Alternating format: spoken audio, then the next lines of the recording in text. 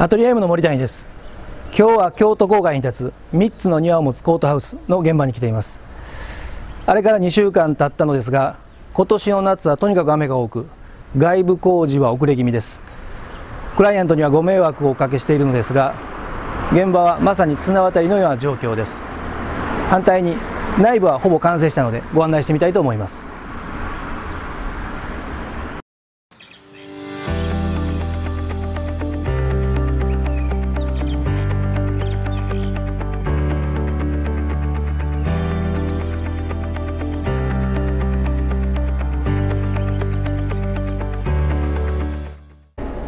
エントランスからホールに入ってきました。この廊下部分なんですが1.2メートルとかなり広めにとっています。一般的には78センチぐらいが一番多いのかなと思うのでかなりゆったりした空間なのですがご要望にご近所の友人が訪れやすいというものがありました。おそらく地域柄この空間はどちらのうちもかなりゆったりしているだろうなということを意識してこの大きさを確保しました。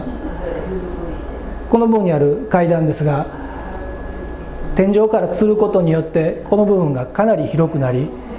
ただの動線にしないということを心がけたつもりです。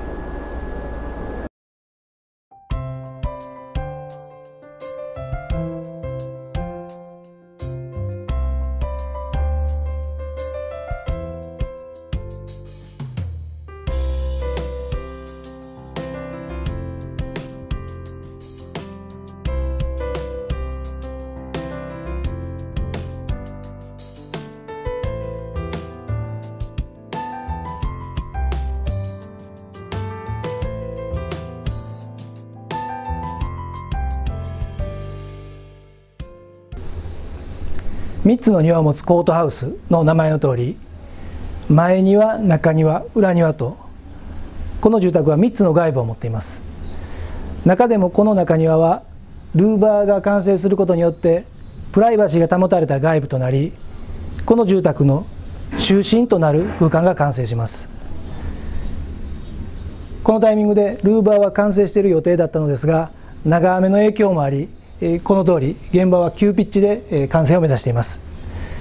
できればもう一度竣工してからお届けしてみたいと思います。